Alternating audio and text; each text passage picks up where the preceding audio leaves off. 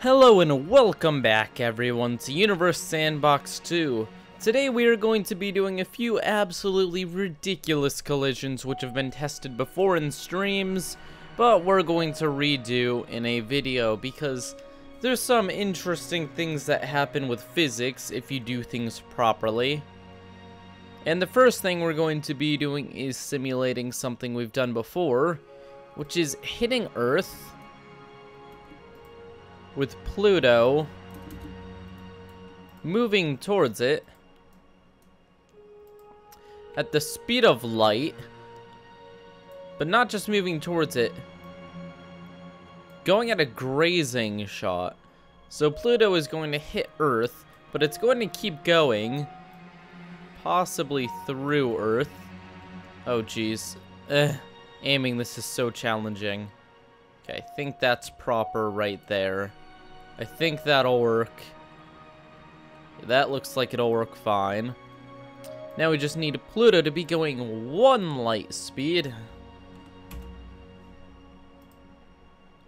And we're going to slow things down a little bit. And by a little bit, I mean a lot of bit. We're going to go slower than real time. Here we go. Here's Pluto. Pluto is doing perfectly fine at the moment.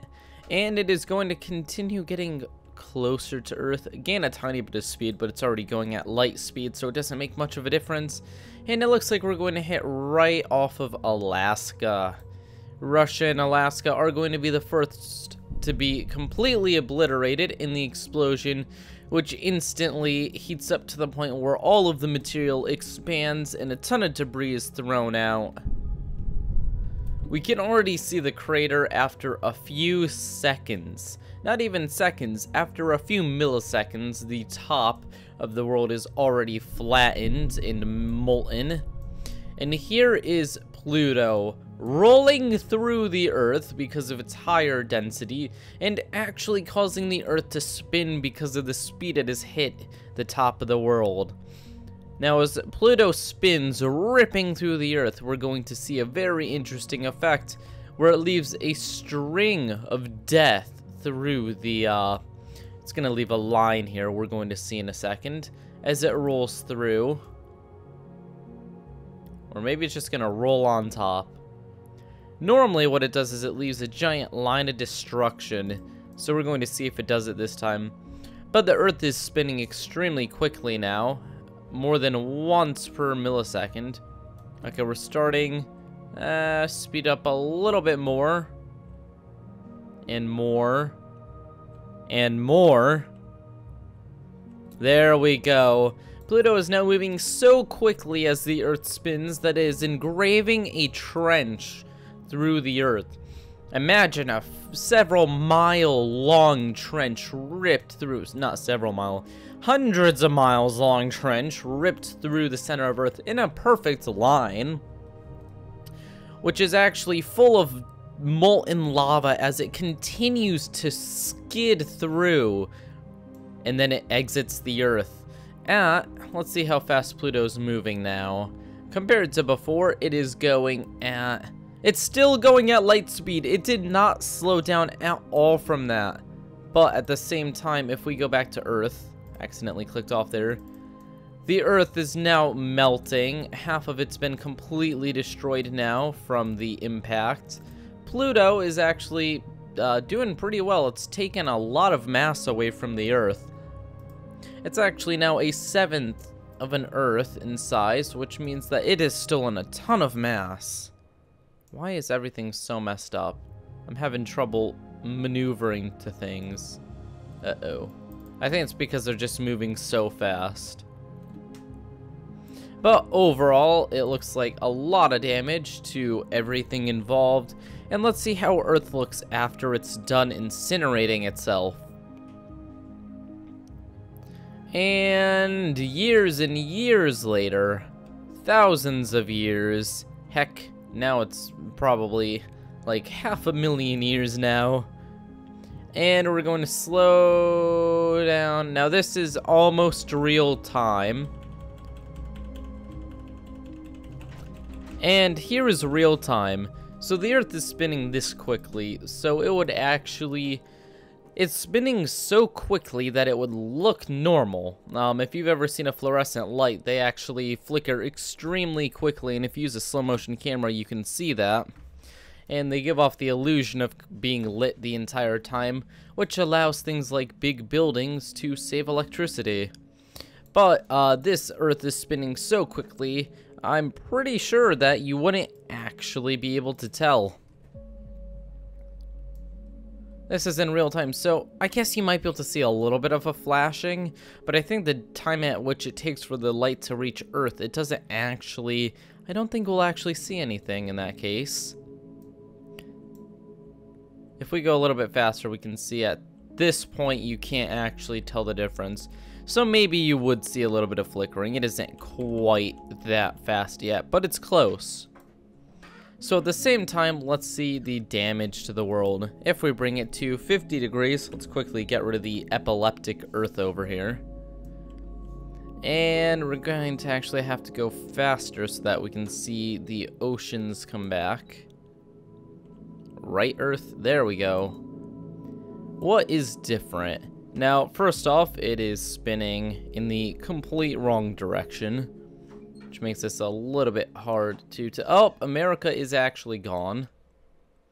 Or actually, the East Coast and West Coast are pretty fine, but Central America is pretty much gone. A bit of the Louisiana Purchase. And... Europe and Russia are pretty much gone. Africa has a little bit cut off the top. Something looks slightly odd about Saudi Arabia. Everything else seems pretty normal, except there's now a ton of extra land under China, actually connecting it to the Philippines. Japan is broken up. Yeah, so a lot of things are just slightly different, but not completely destroyed. I think life is going to come back and never mind. Never mind, that's not happening because there's no sun to warm it up.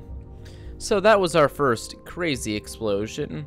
But now what we're going to do is we're going to test with a very, very small star against Jupiter. Because occasionally this actually turns out extremely interesting. Okay. So if we go, we're going to have to make this ourselves. Let's use Earth. Shush charm. Shush. What we're going to do is we're going to go to moons. We're going to set it to 50 million. And now we have a very small, cold sun. And by cold, 15 degrees. Very cold. The temperature of Earth. Now we're going to put Jupiter down. And we're going to let them collide and see who wins. Let's quickly let Charm down so she stops annoying me. Come on, Charm.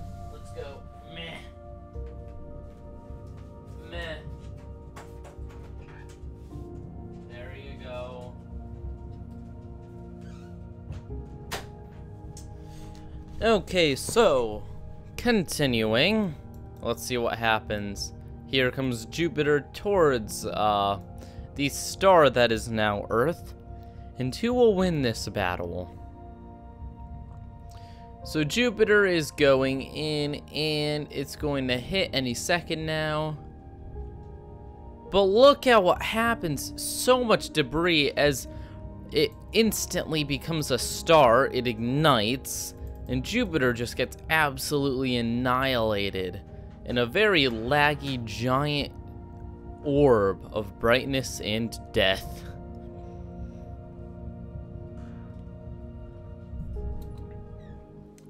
Okay guys, let's see what the, well, result of this is. So, Earth is now expanding much larger than it originally was, and expands even more. And by the end, it is, let's see, in relation to the sun, it is two times as wide as the sun, while its mass is only less than 1. So that's all to do with density, so it's nothing extremely special, but it's still an interesting reaction to such a small object hitting it. if we hit it with another Jupiter, the same reaction does not occur, uh, probably because of the strange state the star was in before, and now it's in a normal uh, star state, so it no longer is affected. Much more stable now. But guys, I want to thank you all for watching this video. Please leave a like and subscribe if you enjoyed it. We are getting very close, uh, close to 20,000 subscribers, so make sure to join now before uh, it's too late. After like a million, then the channel will be so big it won't be uh, it won't be cool to be on the uh, hype train yet. So make sure to sub while you can, while it's still cool. See you all.